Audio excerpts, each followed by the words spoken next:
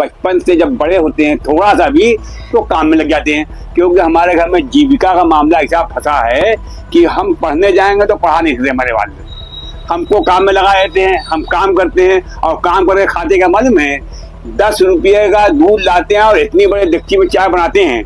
काशी की प्राचीन इतिहास से जुड़ी बनारसी साड़ी और बनारसी कपड़ों की बात ही निराली होती है। बनारसी हथकरघा कपड़ों की मांग सिर्फ़ भारत में ही नहीं, बल्कि भारत से बढ़ के विदेशों में भी है। पर अफसोस राजनीति की उड़ती धूल में कहीं ना कहीं बुनकर और उनकी हाथ की कारीगरी धूमिल होती जा रही है।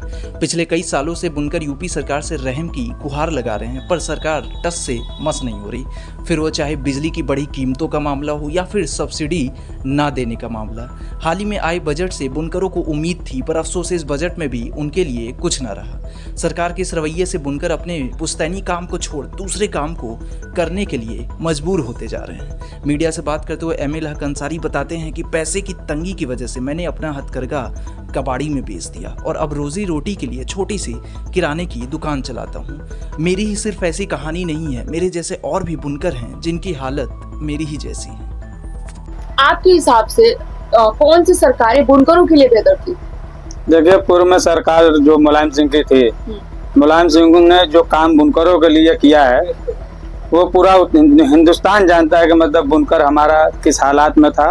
पहले लोग लेबर मजदूरी का काम करते थे स्लीपर ढोते थे रेलवे का। उसके बाद मुलायम सिंह ने देखा कि उत्तर प्रदेश का बुनकर जो बहुत मजबूर टाइप का लोग है पालन पोषण कर नहीं पा रहा है। करके का हालात इतना ज़्यादा बिगड़ गया था कि लोग बच्चों का पेट पालने के लिए अपना शरीर का खून बेच रहे थे। जब अटल बिहारी की जब सरकारें हुआ करती थी तो इसी तरह बुनकर का हालात एकदम बिगड़ गया था। तो वो मुलायम सिंह ने देखा कि मतलब बुनकरों के लिए पावर लूम अगर लगा दिया जाए, उनको सस्ती बिजली दे दिया जाए तो हमारा बुनकर जो है खुशहाल हो जाएगा। तो मुलायम सिंह ने यह काम तो बहुत बड़ा किया 2006 में। उन्होंने बुनकरों के लिए सब्सिडी दी, बिजली दी कि सस्ते में इनको मशीन लगाया जाए। तो हम लोगों के यहाँ जो औरतों का जेवरात होते थे जाना सोना चांदी जो भी होता था बेच के लोगों ने पावर लूम लगाया पावर लूम लगा के अपने बच्चों को खिलाया, पिलाया, परिवार को बड़ा किया, बहुत खुशहाल था। जब से ये बीजेपी की सरकार उत्तर प्रदेश में आई है, बुनकरों को खाली प्रताड़ित किया जा रहा है। कोई भी अधिकारी आता है, आपका मीटर लोड बढ़ती बता रहा है। अरे हमको तो किलो के हिसाब से हमको लोड देते हैं। ना पैसा वसूलते एचपी के हिसाब से। तो किलो के हिसाब से दिए तो किलो के हिसाब से पैसा लेना चाहिए एचपी के हिसाब से लेते हैं। मतलब आपके हिसाब से बुनकरों के लिए भाजपा की सरकार लाभदायक नहीं निकली। लाभदायक कहाँ निकली है? जो चीज़ आज चार सौ पैंतीस का सिलेंडर बिकता रहा देख रहे हैं मार्केट में हज़ार रुपए का सिलेंडर बिक रहा है। इस बार 2024 का जो बजट है उसके लिए आप क्या कहना चाहेंगे? 2024 के बजट में हम लोग काफ़ी उम्मीद लगाए बैठे थे क्योंकि 2023 में जब बजट पेश हुआ था मोदी जी ने 20 करोड़ बुनकरों को ऐलान किया था कि राहत दिया जाएगा, बाकी कुछ ऐसा मिला नहीं, ज़मीन पे नहीं दिखा। इस वक्त हम लोग उससे ज़्यादा उम्मीद लगाए थे कि तीसरी बार सरकार बनी है। प्रधानमंत्री हमारे बनारस के सांसद कुछ ना कुछ अच्छा करेंगे, बाकी कुछ अच्छा देखने को नहीं मिला। बराबर बुनकर बदहाल होते चला जा रहा है। आप जाएँगे, मोहल्ले में कहीं भी घूम लीजिए, कोई ना कोई एक परिवार का सदस्य एक दो लोग बाहर, बेंगलोर, कोई सूरत, कोई बॉम्बे, सब जगह कारोबार के लिए भटक रहा है।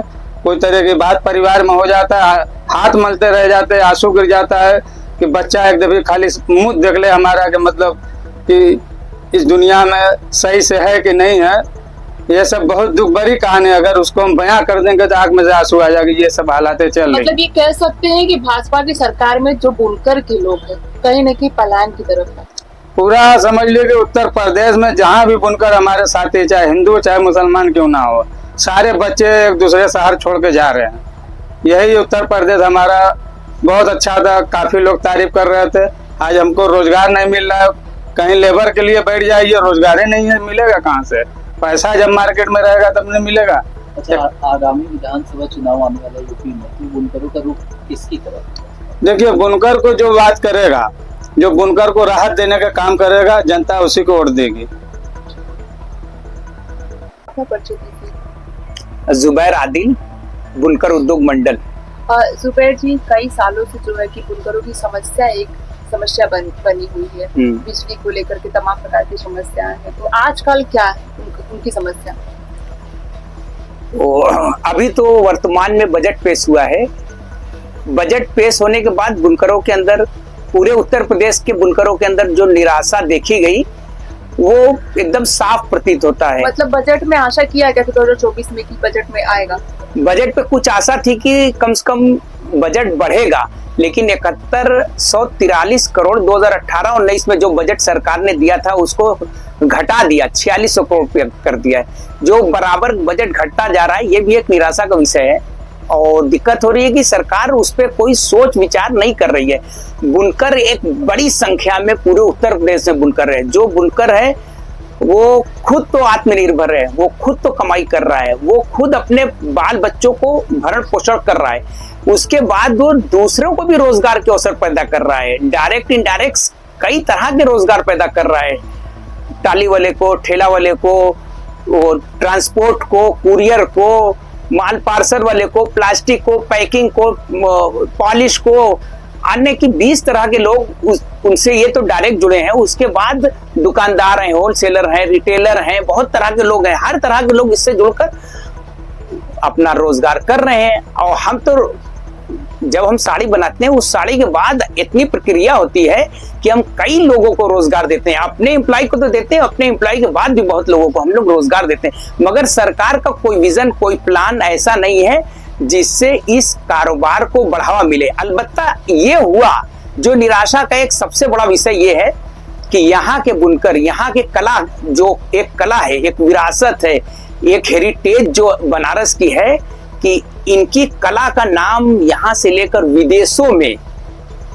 अगर ये कहा जाए कि अगर हालिया में अंबानी परिवार की शादी हुई या तो अमिताभ बच्चन पर, के परिवार की शादी हुई या तो उससे भी पहले एक परंपरा रही है कि बनारस की साड़ियों का एक महत्व होता है।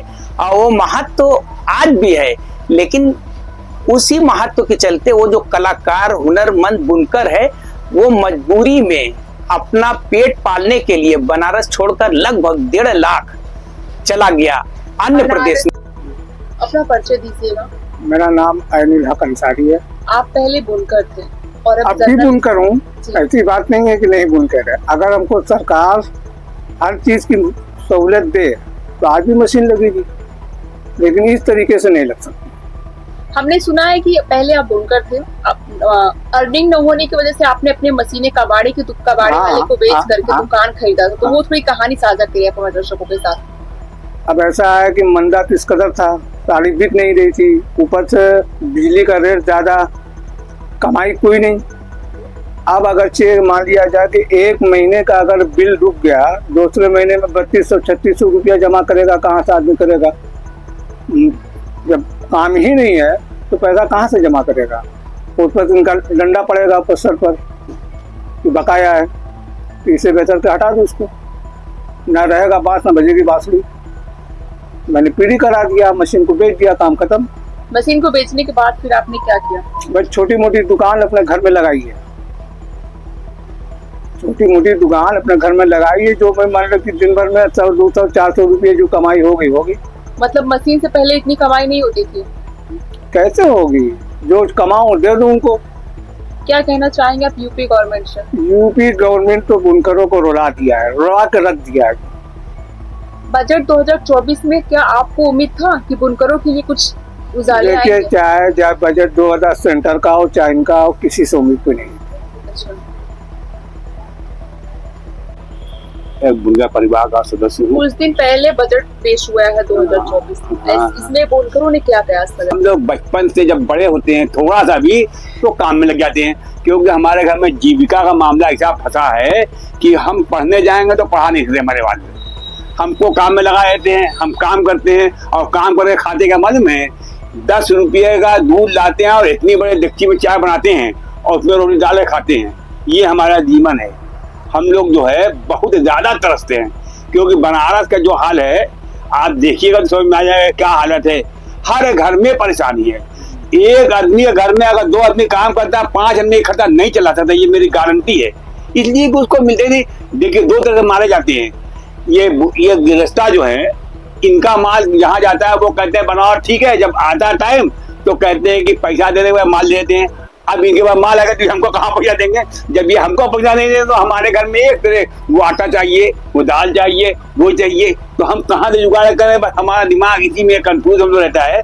तो हम लोग बजट वजट को कुछ देखते ही नहीं इतना टाइम नहीं है हमको। अब हम देख समझ भी क्या कर सकते हैं। मतलब एक तरीके से कहा जाए कि बजट का कोई महत्व ही नहीं नहीं हमारे यहाँ कोई नहीं कोई महत्व नहीं इसलिए कि हमारे पास कुछ है ही नहीं है। Please follow us on our social pages and stay updated with your daily news.